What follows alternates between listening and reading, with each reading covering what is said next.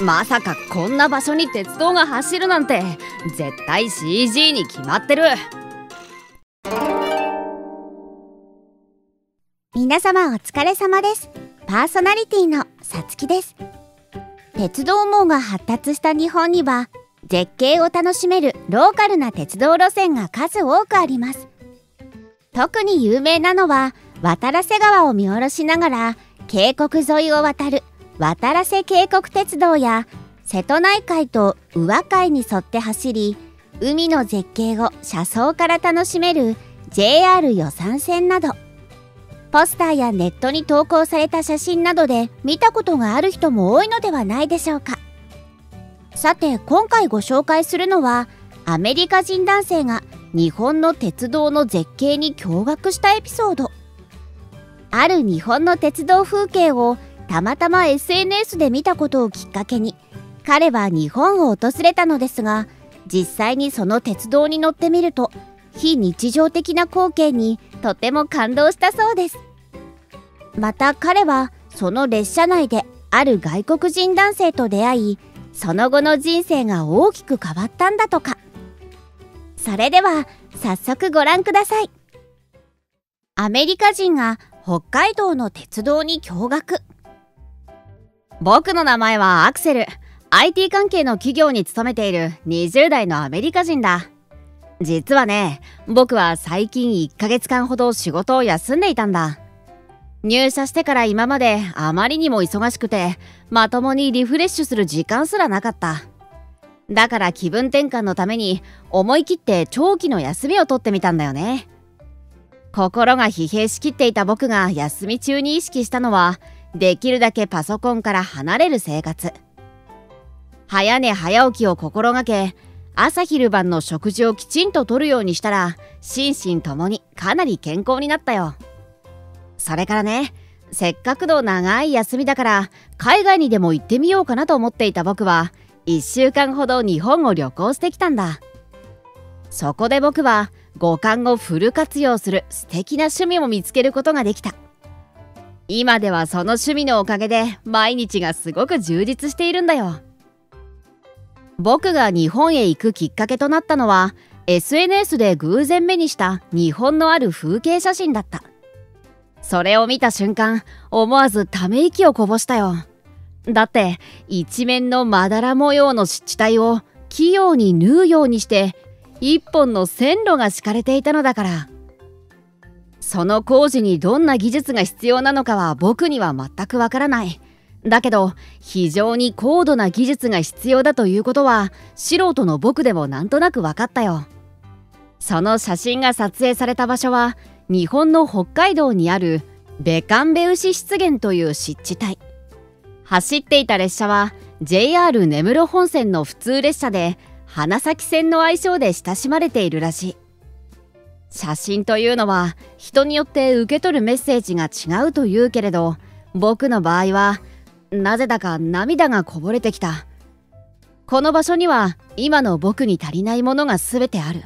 そんな気がした僕はいても立ってもいられなくなり気がつけば日本行きの飛行機を手配していたんだ。今思うとびっくりしちゃうほどの行動力だよね。でもそれくらいあの写真には惹かれるものがあったんだと思うよ。そうしてあっという間に初めての北海道に到着。SNS の写真から察するに北海道は山や川などの自然だらけなのかと思ったら新千歳空港周辺の都市部は便利でエンタメ性も高いところだった。衛生環境が良く街にはゴミが落ちておらず公衆トイレも清潔。行く先々で出会う日本人の人柄も素晴らしかった。そして期待通りだったのは日本人の人柄だけではない。目的地のベカンベウシ湿原の景色も期待通りいや期待以上でね。花咲線の厚岸駅からベカンベウシ湿原まではほんの数分間だったけれど車窓から見える景色に僕は目を奪われっぱなしだった。湿原の豊かな新緑どこまでも続く水面に映る雲カラッと晴れたコバルトブルーの空それら全てが非日常的でまるで秘境への入り口のようだった。ん？あの美しい鳥は何だ？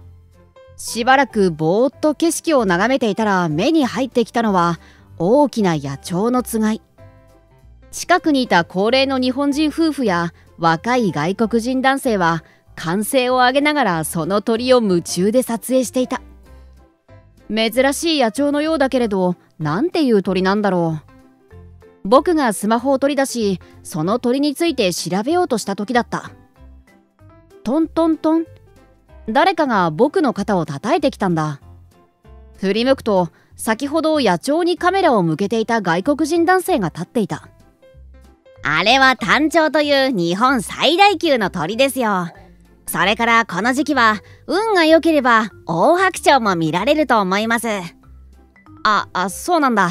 教えてくれてありがとう。突然話しかけられて僕が困惑していると彼は日本に住むアメリカ人留学生のイアンだと自己紹介をしてくれた。彼が大学で研究しているのは野鳥の生態。講義の合間を縫ってはカメラや望遠鏡を手に研究資料を集めているとのことだった。そういえばカメラを構えている人がやたらと多いよね。そうですね。ここは地元の人たちの生活路線というよりも観光路線として利用する人が大半ですから。なるほど。そうだったのか。僕は隣のイアンをちらっと見ていいことを思いついた。ねえこれも何かの縁だと思うしいろいろと聞いてみてもいいかな。この土地や野鳥のこととかをもっと知りたいんだ。いいですよ。何でも聞いてください。こんな風に誰かと会話をしたのは久しぶりのこと。博識なイアンの話は興味深いものばかりだった。花咲線は全部で18駅。最終駅の根室までは沼や湿地帯原生林といった大自然が続いているんですよ。この辺りは野鳥が多いのかい？そうですね。ここは野鳥の越冬地として最適な場所。観察できる野鳥は約200種類にも上り2005年にはタンチョウの保護区としてラムサール条約にも登録されたんです。ラムサール条約？なんか昔授業で聞いたような気が。ラムサール条約の正式名称は特に水鳥の生息地として国際的に重要な湿地に関する条約。国際的に重要な湿地を保全再生するための条約なんですよああそれだ。思い出したよ。それからもし野鳥に興味があればあっけし水鳥観察館にもぜひ行ってみてください。2階の展望スペースからはベカンベルシ湿原を一望できて備え付けの望遠鏡を覗き込めば肉眼では捉えきれないたくさんの水鳥や動植物を見ることができますから。例えば真夏によく見られるのはタンチョウとアオサギばかりですが9月頃になると北方からやってきたカモたちが湿原内の水路でひしめき合う様子を見られます。氷が張り始める頃と氷が溶け出した直後に非常に活発に活動するのはカワアイサやミコアイサといったアイサの仲間。あとは1月後半から2月にかけてはハヤブサが見られます。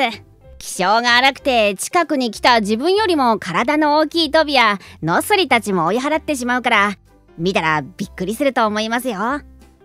で今の時期に見られない野鳥の説明をしても意味がないですよね。すみません。いやいや気にしないですごく面白い話だったよ。はやぶさとかトビは聞いたことがあるけれどアイサやノスリは知らないな。チャンスがあればぜひ生で見てみたいよ。イアンが過去に撮影したそれらの鳥たちの写真を見せてもらいながら僕は夢中になって野鳥の説明を聞いていた。あとはレンタカーを手配してバードウォッチングをするのもおすすめですね。花咲線と並行するように撮っている国道ではドライブとバードウォッチングを楽しむ観光客をしょっちゅう見かけます。へえドライブか。それも楽しそうだ。でも僕はこうやって電車に乗ってのんびりと景色を眺める方が旅情を感じられて好きかな。僕もです。電車ってなんかいいですよね。でもこうして僕たちが花咲線に乗ることができているのは奇跡に近いことなんです。えどういうこと？僕が聞き返すとイアンはその意味を詳しく教えてくれた。日本最東端の鉄道であるこの花咲線はかつては存続の危機にさらされていたんです。ある統計によると花咲線の輸送密度はこの40年で7分の1にまで減少。その上冬は凍結してしまうし特殊な地形で維持費もかかるから廃線が検討されていました。だけどこのベカンベウシ湿原は生活路線としては多少不便でも観光路線としては高いポテンシャルを持っています。どんなポテンシャルかというとこの鉄路では約8300ヘクタールのベカンベウシ湿原と約3230ヘクタールの厚岸湖を眺めることができるのですがこのベカンベウシ湿原自体がかなり貴重なものらしいんです。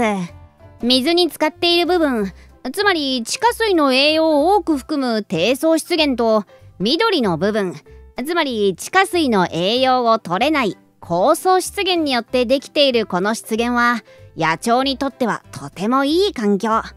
さらに近くに釧路湿原があってこちらは手つかずの状態だったので自然な湿原の発達過程が見られ研究者たちから注目されるようになったんです。そこで根室市はこのような自然の強みをプランディングブランドを形作るさまざまな活動して花咲線の維持活性化を図るため2018年10月から地球探索鉄道花咲線プロジェクトを展開。このプロジェクトには JR 北海道も全面協力しウェブサイトや SNS ポスターなどでの魅力発信やラッピングバス側面に広告フィルムを貼り付けたバスの導入など様々な取り組みが行われました。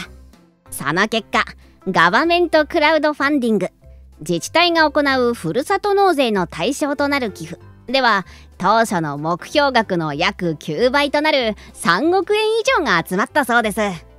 3億円？そりゃすごいな。ええすごいですよね。そして2021年8月には花咲線は釧路根室間の全面開通100周年を迎えました。今では絶景や野鳥を目当てに国内外から多くの観光客が花咲線に乗りに来るんですよ。そのおかげで僕はあの素晴らしい景色に出会うことができたというわけか。路線の存続に尽力してくれた多くの人々に僕は心から感謝した。それからイアンが勧めてくれたのがこの地域の名物であり厚岸駅前で売っているかき飯の弁当。大ぶりな牡蠣は甘辛くてミルキーで普段オイスターバーで食べる牡蠣料理とは全然違っていた。あとは釧路駅の売店で買ったイワシのほっかぶり寿司も絶品。油の乗ったイワシに甘酸っぱい大根が乗っていてすごくさっぱりとした味わいなんだ。寿司といったらマグロやサーモンなどの握り寿司やカリフォルニアロールしか知らなかったから日本にはこんな寿司もあるのかと驚いた。それにホテルの朝食で出てきた焼き魚や出汁が効いた味噌汁も美味しかったな。日本食はあまり食べたことがなかったけれど日本食を目当てにまた日本を訪れたいと思ったほどだったよ。ちなみに北海道には花咲線以外にも素晴らしい鉄道風景がいくつもあった。その一つが室蘭本線の北船岡駅。ホームに降り立つと目の前には噴火湾が広がっていた。北船岡駅は特急が通過してしまう無人駅なのだけれどわざわざ行った甲斐があったよ。それから宗谷本線の抜海南稚内間で海の向こうに見えた利尻山の絶景にも感動。調べてみるとこの山は日本百名山の一つであり利尻富士と呼ばれる火山なんだそう。そのどっしりとした佇まいは富士山にも負けない迫力だったね。この北海道旅行では久しぶりに大自然や人々との触れ合いを経験し十分すぎるくらいの休息ができた。そのおかげで今は元気に仕事に復帰。無理をしすぎないように注意しながら働いている。そして休日にはハイキングやバードウォッチングなどに出かけ自然に親しむように。自然の中で過ごすことが僕にとっては最高のリフレッシュ方法だ。そうそう。アメリカに帰国してからもイアンとは連絡を取り合っていてね。